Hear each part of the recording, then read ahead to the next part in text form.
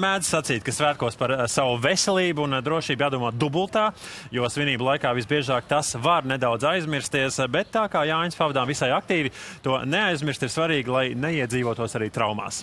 Jā, kā Jāņus svinot kārtīgi, to vienlaikus darīt arī prātīgi, un vai šīs abas pieejas savā starpā gal galā nav pretrunīgas, ne tikai par individuālo veselību, bet arī mūsu valsts veselības aprūpes sistēmu plašāk runāsim turpmākajās minūtēs ar kādu Jāni. Jā, un tas ir Jānis Vētra. Latvijas jauno ārstu asociācijas valdes priekšsēdētājs. Labrīt! Labrīt! Labrīt. Labrīt. Pirms mēs sāksim šo sarunu, protams, ka mēs oh. vēlamies jūs rotāt ar, es ceru, pirmais vainags šajos. Pirmais jā, šajos svētkos. Paldies! Liels par sveicieniem! Redz, kā mēs esam, bet nu, tiešām jūs esat viens no pavisam nedaudziem mūsu šā rīta viesiem Jāņiem, bet kā tur ir ar šo vārdu dzīvē un arī šajā Jāņu svētku laikā? Tas uzliek tādu papildu uh, atbildību, teiksim tā. Atbildību iespējams arī uzliek. Eh, bet vārdu nesmu, nesu kopā ar eh, gan tēvu, gan vecstāvu, tā kā esmu Jānis jau trešajā paudzē. Līdz ar to tā Jāņa svinēšana mūsu ģimenē arī vienmēr ir bijusi nu, tāds centrāls gada notikums. Un, uh, Siguldas pusē tur esam vienmēr svinējuši plašākā, kādreiz šaurākā lokā. Tā kā Jāņa vārds uh, ar, ar godu turpina nest arī šajos svētkos. Par, par, par darbu runājot, jūs jauno ārstu asociāciju vadāt nedaudz vairāk nekā pusgadu. Kādi secinājumi līdz šim pa šo laiku ir izdarāmi par veselības aprūpas procesu, procesa vadību mūsu valstī? Kopumā jauno ārstu asociācijā gan esmu jau ceturto gadu, arī ar iepriekšējo valdes priekšsēdētāju strādājām kopā. Ja mēs skatāmies uz visu to veselības aprūpi kopumā, tad uh, bija prieks pagājušajā gadā, kur veselības aprūpe bija starp vienām no galvenajām prioritātēm, starp uh, aizsardzību un izglītību. Tad, tad šogad jau tādas bažas ir, ka valdība koncentrējās tikai uz aizsardzību, bet mēs gribētu tomēr nu, panākt, lai, lai tā veselība tomēr nepazūd no tā prioritāšu saraksta, jo šķiet, ka tomēr katra gan individuālā veselība, gan sabiedrības veselība arī ir tāds mūsu nu, principā iekšējās valsts arī drošības jautājums. Līdz ar to, ja būs pieejama saulēcīga veselības aprūpe, es domāju, ka arī mēs varēsim teikt, ka dzīvojam drošā valstī. Jā, nu ir jau tas, to mēs arī jūtam intervijās, nu, piemēram, ar arotbiedrības vadītāju, tur saka, ka ilgstoša veselības nozara ir badināta. No otras puses, mēs zinām šī gada budžetu liels pieaugums, teiksim, nekad tik liels pieaugums nav bijis veselības nozarei. Kas tad ir tas, eh, kā to vispār izjūt ārsti? Jūs arī sakat, eh, ir bāžas par šo aspektu, ka teiksim, tikai drošība ir izvirzīta kā priekšlikuma, lai tas pakļauj ļoti daudz. Par ko ārsts speciālists vairāk varbūt bažītos šobrīd? Patiesībā tās lietas, kas dara bažīgas, ir jau ilgstoši bijušas zināmas. Līdz ar to tas ir pieejamības jautājums. Tas būtu pirmais, kas ir garās rindas, kas ir rindas uz izmeklējumiem un speciālistiem. Uh, Un uh, otra lieta ir pats cilvēku resursu daudzums. Mēs redzam, ka mums trūkst ārstu, mums īpaši trūkst māsu.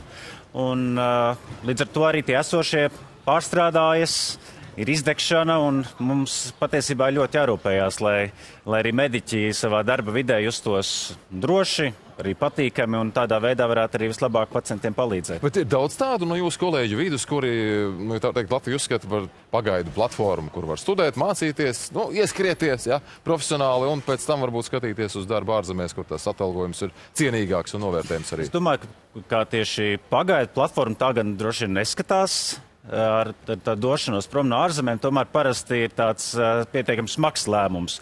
To ietekmē nu, vai nu kādi privāti, personīgi apstākļi, nu, vai arī tā ir kāda vilšanās sajūta par, par to, kā valsts vai kādreiz kādi darbdevēji ir uh, izturās un kāda ir tā, nu, kāds tas ir atbalsts jaunajam speciālistam.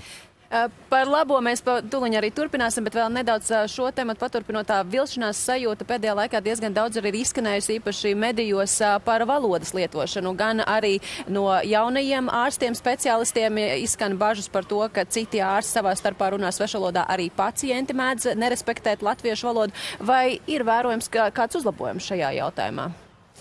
Nu, tas uzlabojums pagaidām vēl nav jūtams. Mēs uh, redzam, ka šī problēma vismaz tika pamanīta uh, veselības ministrijā, par ko paldies, un arī ir tagad tie jaunie grozījumi, kas ir veikti pacientu tiesību likumā par šo nepieciešamību nodrošināt tulkošanu, ja pacients nevar sazināties valsts valodā. Jo tā problēma šobrīd kļūst tāda aktuālāka. Ienāk aizvien vairāk jaunie speciālisti, kas krievu valodā nerunā, bet joprojām ir diezgan liela daļa uh, Latvijas iedzīvotāji, kuri vai nu nejūtās ērti pietiekami runājot latviski vai nepārvalda valodu, un tad veidojās valodas barjera. Un tad no tādas mūsu asociācijas puses patiesībā tas nu, lielākās bažas, kas notiek kaut kādas vai netiek nu, pieļautas kļūdas, kad paaugstinās tāda pacienta drošības riska, un līdz ar to tur mēs meklējam vēl risinājumus un gaidām, kad arī tādas lielas slimnīcas mums noteikti nāks Nu, par šo mēs noteikti vēl runāsim kaut kad atsevišķi jau Noteikti. mūsu klasiskajā studijā, jo šis tiešām ir pamatīgs jautājums līdzās citiem. Bet pie svētku tematikas vēl nedaudz. Jā, nu atgriežamies. tajā apaļveida kompozīcijā. Teicāt, trešā paudze, Siguldas puse. Nu, kas ir tās pašas, pašas labākās, pašas īpašākās tradīcijas, ko noteikti piekopja ģimenes ietvarā? Nu, šķiet, ka eh, tas svari, viens no svarīgākajiem posmiem, protams, ir svētku gatavošanās. Liekas, kas rada arī to svētku sajūtu. Un, uh, tad tas uh, iekļauj sevī gan braukšanu pēc mejām, gan uh, kādu ozolu vītņu vīšanu, ko aplikt ap lielo Latvijas karogu, kas tiek pacelts, un uh, ugunskura iedegšanu līdz ar saules norietēšanu. Tā kā Vakar jau, man liekas, un tas- tā nakts paiet kopumā diezgan ar eh, gan dziesmām, kādreiz kādas rotaļas arī ir, ir lektas. Lielākā daļa no mums ir Muzikāli. muzikāli, koros dziedam, ā, un, un, un līdz ar to arī tā nakts tādā pacelātā, lustīgā gaisotnē noteikti arī paiet. Nu, mēs arī pieminējām par to svētku svinēšanu kārtīgi, bet prātīgi. Pavisam īsi ieteikums, kā tad droši svinēt šos Jāņus. Ārsta skatu Jā, jā. punkts. Ārsta skatu punkts šoreiz. Nu, ar skatījumu nu, kopumā skaidrs, ka uh, tas zelta vidusceļš kaut kādā mērenībā, bet es domāju, ka latviešu tradīcijas kopumā piedāvā diezgan uh, labas iespējas uh, ar šīm pašām rotaļām, ar dažādu veidu, nu, kādreiz kādu rituālu iepīt, kādreiz kaut kādas tādas tradicionālas lietas, kas, man liekas, to svētku burvību uh, uzbur un uh, aizrauj līdz uh, saules gaismai. Līdz ar to, man liekas, tur var smelties krietni vairāk. Uh, nu, to iedvesmu svētkiem nekā varbūt kādreiz kādos dzērienos vai kādreiz kādās nu, pārmērīgās pārdrošībās. Nu, brīnišķīgi. Paldies. Es domāju, salikāt visu ļoti tādā rāmīšiem. koncentrātā. Vainags ir? Es nopelnīju arī sieru. Vēlreiz nākšu pie jums.